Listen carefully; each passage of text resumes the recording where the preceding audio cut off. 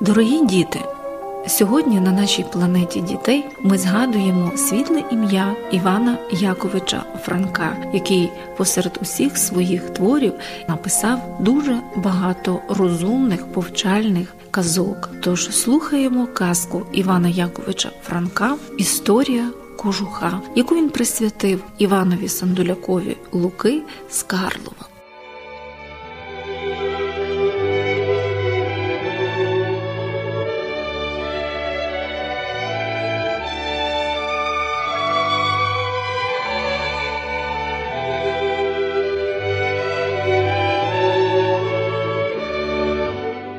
Був собі кожух, простий баранячий кожух, навіть не надто новий, правда, не латаний та вже порядно проходжений, просяклий запахом людського поту, з поблеклими віддавна прикрасами, що колись надавали йому характер типового покутського кожуха.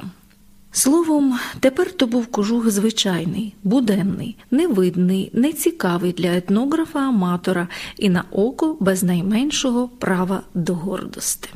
А проте він був дуже гордий і в бесідах із самих собою, які вів, звичайно, в нічній темряві, висячи на жерці над постілю господаря, чванився та виносився незвичайно. Що ж то, міркував він, котрий кожух, котре футро, котрий апарат церковний має більше право до гордості й поваги від мене. Правда, лисам, покритим гранатовим сукном, більше панькають та шапкують, перед апаратом церковним більше припадають, та що то то значить? Усе про око людське.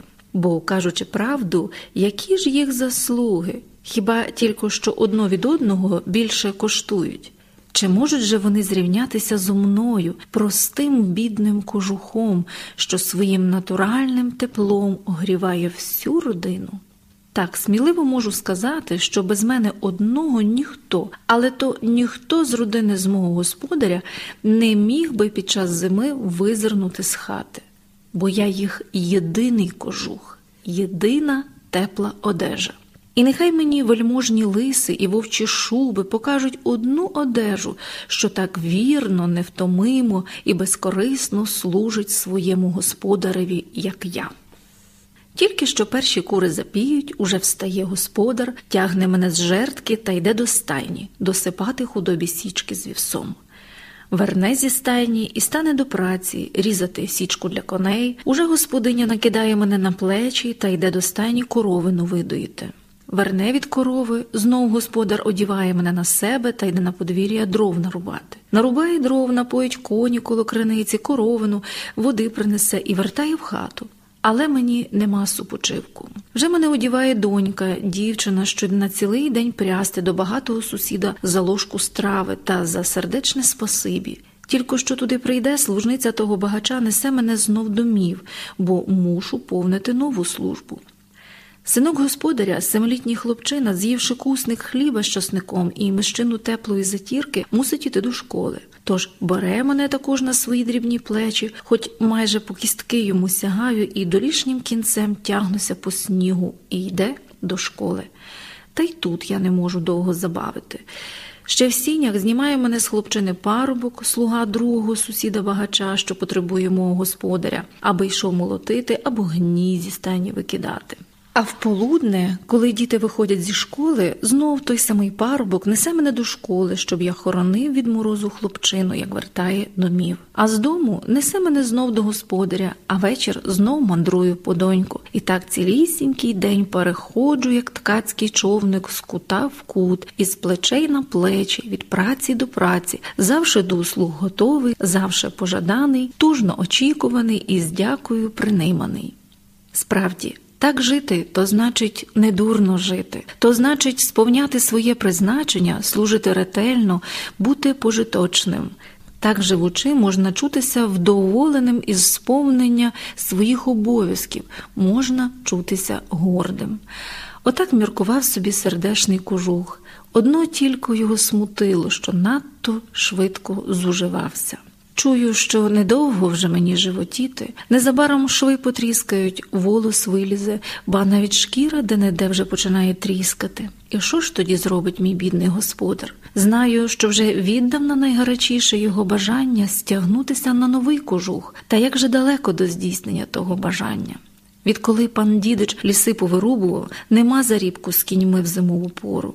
Овець не держить, а що руками з зимі заробить, то ледве стає на яку таку обув і на податок. Відки ж то до кожуха, а без кожуха в зимі, як без духа. Ой, тяжка хлопська доля. Одного дня зайшла маленька зміна в розкладі кожухових услуг. Ранок минув, як звичайно. Кожух відвів хлопчину до школи. Коли се прибігає його господар, батько хлопчини, в легкій полотнянці, вбіг до школи, учителя не було і, хухаючи в пальці, сказав швидко хлопцеві Юроню, дай мені кожух. Пан дідич прислав по мене, каже мені їхати з його фірами в ліс. Ой, а як же я верну зі школи без кожуха, повідає хлопець, скробуючися в голову. Візьми, синку, ноги в плечі та й біжи хутко, то зігрієшся, нічого тобі не буде, сказав батько, одягаючи кожух. А може, Бог дасть, що в дворі знайду ліпшу роботу, то на другий кожух стягнемось, додав, аби потішити затурбованого хлопчину. Того дня вже кожух цілий день не злазив з плечей господаря. Коли вечір оба вернулись домів, кожух у трьох місцях потріскав на рукавах, і господар воркотів невдоволений, бо окомон за роботу мало заплатив і навіть на другий день не казав приходити. Та найгіршу біду застали дома. Юрцю лежав хворий. Гарячка з'їдала хлопчину, з пеклими устами стогнав без тями і тільки одно повторяв У боці мене коле, ой коле. Від того дня змінилася кожухова доля. Хлопець не ходив до школи, що там радили, як хухали і шептали, і плакали родичі, не вмію того сказати. Досить того, що, пролежавши зо дві неділі, Юрцю подужав. Адже ж тверда хлопська натура, щезла гарячка, перестав кашель, не стало кульби в боці, і тільки лишилося ослаблення. Рвався хлопець до школи, та мати, бачачи його безсилість, не хотіла його пустити. Колись одного разу, власне, як ціла родина сиділа коло миски затірки, а кожух висів на жерці, двері отворилися, і війшла в хату присвітла власть громадська, десятник і присяжний. Слава Ісу! сказали входячі. Навіки Богу слава, відповів господар, устаючи від столу. Час до обіду, сказала господиня. З Богом святим най Бог благословить, відповіла власть громадська. Хвилю панувала мовчанка в хаті. Просимо сідати, сказав господар. Власть сіла на лаву. Що ж вас, панове, до нас приводить? питає господар. Та то ми, куме Іване, не самі від себе, сказав, скробуючися в голову присяжний, то пан начальник нас прислав. Ой, а що там нового? йойкнув господар. Адже шельварок я відробив. Та то не про шельварок, сказав десятник, а от хлопця до школи не посилаєте. Пан учитель на кару його подав. Маєте ринського заплатити. Ринського?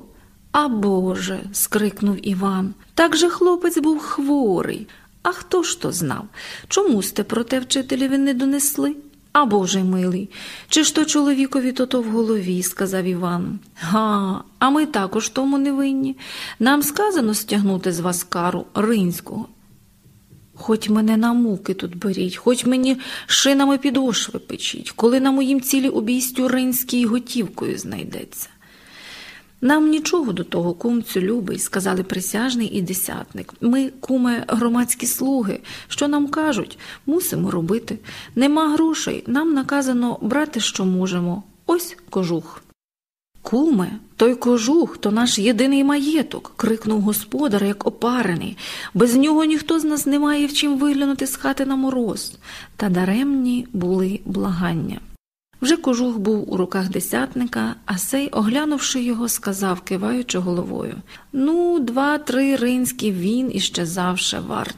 Не бійтеся, куме, сказав присяжний. Кожух ваш не пропаде, занесемо його до ютки. Сьогодні принесете ринського, сьогодні вам той кожух вернемо. Але ж, куме, бійтеся Бога, сказав Іван. Відки ж візьму вам ринського? Адже ж без кожуха в зимі заробити не можу. А що нам до того? Візьміть, де хочете, ми маємо острий наказ. Та же кожух мокрий, сказала господиня, ламаючи руки, коби бодай осушив, поки не кине в коморі. Та власть уже не слухала цих слів. Десятник узяв кожух під паху і, не поздоровивши нікого, вийшов із хати. Вийшов за ним і присяжний. Ті, що лишилися в хаті після того, як винесено кожух, дізнали такого чуття, як коли би винесено трупа якого найдорожчого з родини. Хвилю сиділи, як у стовпілі, і тільки опісля, мов на коменду, обі жінки заридали вголос. Хлопець отер сльози рукавом, а сам господар сидів понурий коло вікна і оком слідив за властю, що ні відси, ні відти впала, як вихор, і понесла, власне, те, без чого ціла родина, як стій, стала вдвоє бідніша і зовсім безпомічна. Минув тиждень від того дня. Іван якимось чудом добув відкись римського, заніс до війта і дістав дозвіл взяти назад заграблений кожух. Разом із десятником пішов до Ютки, радий, що прецінь знов дочекається кожуха в хаті, та радість його незабаром минула. Коли Ютка виніс кожух із комори, Іван уже здалека почув супух гнилизни. Мокрий кожух, пролежавши тиждень у вогкій коморі, став зовсім непридатний до вжитку, зігнив і в пальцях розлазився. Йойкнув Іван і аж за голову вхопився руками. А Бог би вас побив, сказав, обертаючись то до десятника, то до Ютки. Ні, а мене за що? відповів Ютка. Чи то я обов'язаний сушити ваші кожухи?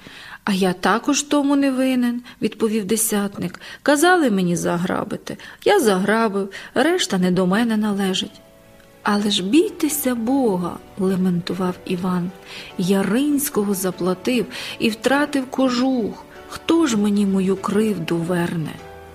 Ютка і десятник тільки плечима стиснули.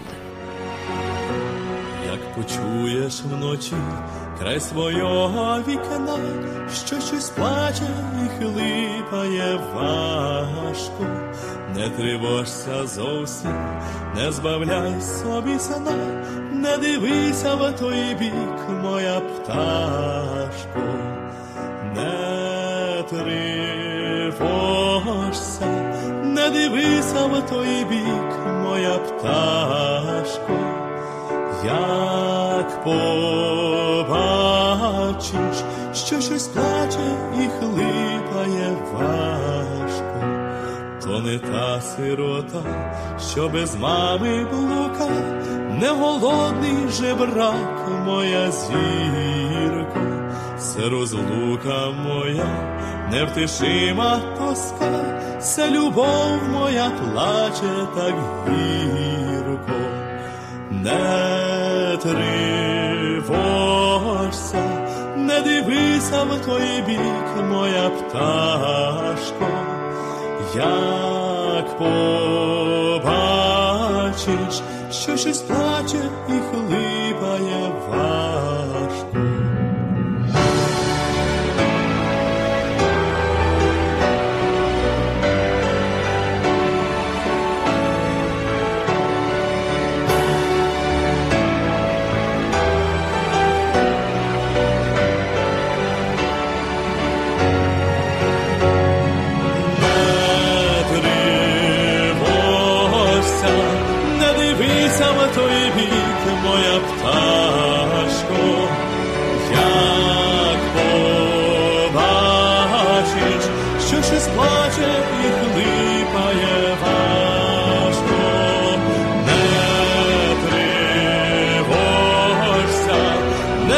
дивися в той бік, моя пташко як